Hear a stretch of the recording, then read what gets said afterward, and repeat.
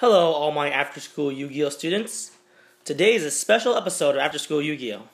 Usually, I like to create deck dissections for new archetypes in the meta.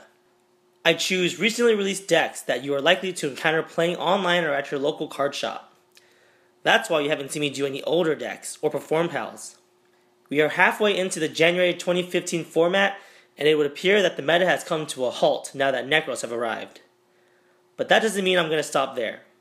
So this week will be a show and tell week. I want to tell you guys about this new deck I built.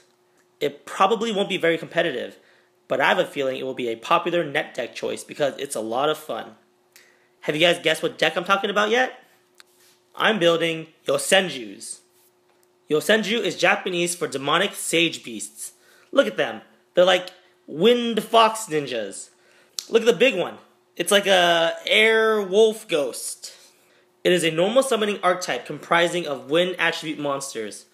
The point of the deck is to search and bounce. They also return to your hand at the end phase like spirit monsters. It's a very fast and consistent anti-meta deck.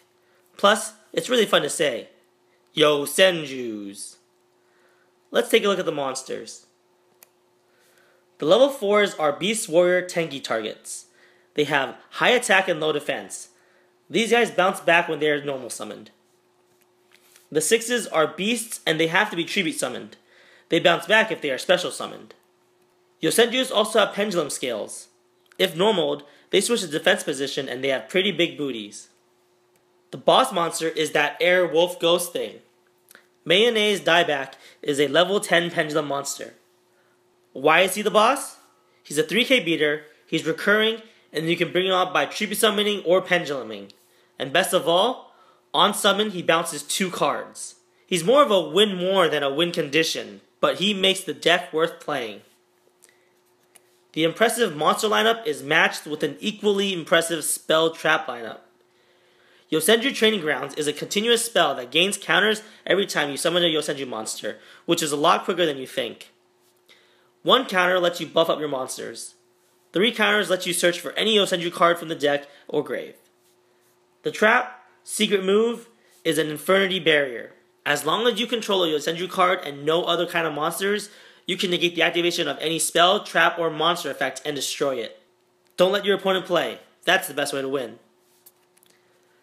So this is the core of the deck, the normal summon engine. Remember, Yu-Gi-Oh! is all about double effects nowadays, so all the monsters have two effects. The first, whenever you normal, you can normal again. So you can go 1, 2, 3, 3, 2, 1, 2, 1, 3, you get the idea. Kama 1 lets you bounce an opponent's face-up card while you control another Yosenju monster. Kama 2 lets you attack directly for half damage. And Kama 3 lets you search for a Yosenju card whenever another Yosenju monster inflicts damage. Pair this with the Yosenju training grounds, and you're looking at a free plus 2 every turn. But the normal engine can only take you so far. Sometimes you need something a little faster and stronger. The pendulum engine lets you bring out Daibak and the 6s at a furious rate. The scales also remain on the field so that you can activate secret move on your opponent's turn. Shinchu L is a scale 3 which will allow you to pendulum the level 4s, which you don't really want to do because they won't bounce back. People will run 1 or none. Shinchu R is interesting because he allows you to pendulum 6s or Daibak. So people who run Daibak will be playing at least 1. And Daibak is too good not to run a 3. He is useful even without the pendulum engine. Here are the other guys who add an aggressive edge to the deck. You probably won't see too many of them, as they are just win more cards. For the support, this deck leaves an empty field at the end of each turn, so you'll need to guard yourself from the OTK with Swift Scarecrow or Battle Fader if you don't run the Vanity's Emptiness. Tenki and Duality will add consistency to your deck. Everything else is pretty much going to be stun traps, battle traps, and one-ofs. So there are two phases in the strategy of this anti-meta deck. Phase 1 is to set up the OTK. Normal all your Kamas, bounce your opponent's monsters, and search for your scales. Everything returns to your hand for next turn. Phase 2 is very similar. Set up your scales, pendulum your Daibak, bounce their field, and win the game. And this goes without saying. Everything else is defense. Don't let your opponent play. Here's an ideal opening hand for Yosenjus. Let me show you how to turn this into a fearsome board. First, you're going to activate Tenki and search for Kama 3. Now that you have all three Kamas, you're ready to go off. Activate Yosenju Training Grounds, normal 1, 2, 3, and you'll have 3 counters on training grounds. Activate the effective training grounds, discard 3 counters to search for a Daibak. Activate the Daibak, bounce your opponent's monster, and then attack. Now you'll get a search and you can get the additional Daibak so that you can attack for game next turn. Set the secret move, and all your monsters bounce back to your hand. So, how do you stop this anti meta storm? Well, there are actually a lot of different options. You can stop them from swarming, stop their back row, or keep them from searching. But the most basic and devastating way to stop them is by clearing their board of monsters. This deck cannot top deck at all. They are dependent on their monsters.